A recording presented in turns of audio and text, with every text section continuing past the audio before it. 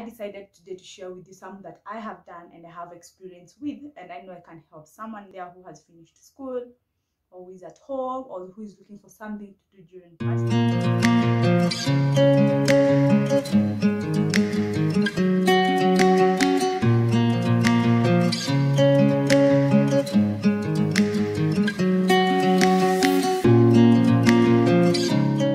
So hi guys, welcome back to my channel. Here, my name is Norline Acosta and today I decided to share with you guys some educative information about online jobs. So there's some of the online there's so many online jobs out there that people are doing, but I decided today to share with you some that I have done and I have experience with, and I know I can help someone there who has finished school or who is at home or who is looking for something to do during part time.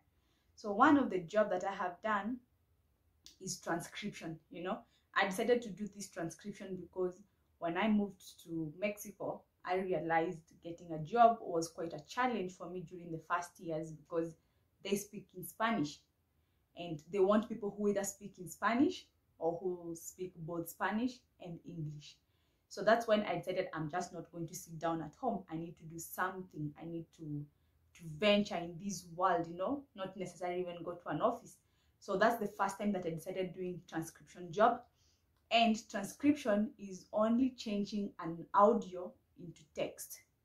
So there are so many companies there, they give you this job to listen to so many audios like talks, president talks, you know, people's YouTube channel. They want to keep this record on whatever they talked. So those are some of the audios out there in companies that they require to change into your text. So what do you require to do transcription? There are only three important things you're going to require to do a transcription job. Your laptop, internet, and headphones. Those are the only thing you require if you're at home to do a transcription job. Yeah. So one of the company that I have worked with is rev.com doesn't mean that's the only company you can work with. There's so many other companies out there like Verbit, Go Transcript, Scribie, so many others, yeah. But I started working with Rev.com because Rev have quality audios. You don't need to to you know you don't need to have a lot of equipment to filter the background noise and stuff. But if you're lucky enough, like me, sometimes I'm, I'm usually lucky, you get even one speaker one speaker job is the easiest job you can do. Just one speaker speaking throughout. And the best part about rev.com, they give you this script. Like um, this audio comes with a rough script. This rough script has a lot of mistake. It's about 80 to 90% true. You know you can use it, but it has a lot of mistake that need to be edited.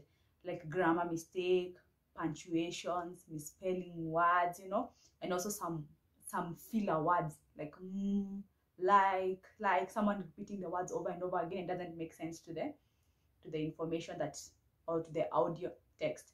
So that's what you do. So you don't have to sit down and start writing you know everything. No they come with that script there. So with that script your work is just to edit the small small mistakes. That's why i love rev.com but there are other companies that usually give you to change audio to text. You don't require like that rough script but trust you me it's not hard. You can just do it. You don't need any experience my dear. You can just do it yeah? It's easy easy easy job. And then one of the thing you're going to note about rev.com is they pay you weekly. So every week it's like a motivation you know? You worked whatever job you worked maybe like for me i do two or three jobs in a week. So if Monday I'm free, I take a 40 minute job or 20 minutes job. For me, 20 minutes job I can finish within one hour. Just finish all the mistakes, edit the work, and perfectly make sure you know they will rate you after the end of every work. So be sure whatever you do, you can. It's it's clear. Repeat once or twice. If you have someone in the house who speaks English, after you finish, it will be easy for them even to just look at within 20 minutes. They just check at your work. They tell you why you know you had a mistake but personally 20 minutes job i can do it within 40 minutes job. I just check and i'm very sure the grammar the spelling mistakes and everything is correct and then submit my work. At the end of every work they're going to rate you. The higher the ratings the more you move to the next stage. The lower the rating the higher chances you have for your account to be blocked. But trust me this account you can work with it for so many years. If you're careful just like any other work you just have to be cautious and be nice whatever you're doing. So how do you apply about rev.com so all you have to do is go to your google chrome open it and then go to www.rev.com as you can see. And then from there go down down you'll find a place called freelancer. Become a freelancer. You click there and then from there they'll give you how to fill your information. You fill your first name your first name. For example my name is Nolin Norline Acosta I can fill details like that and I'm in Mexico. So I can choose which one I want to be. Maybe I want to become a transcriptionist. That's what I talked about. And then go next. And then to be excited that you have decided to apply to become all that introduction they'll give you all the information the minimum how you get paid and start your application. And then from that this is where you're going to get all the information about background. Nowadays asking about background what level which is your highest level education my mine is bachelor's degree and how many years of work experience do you have?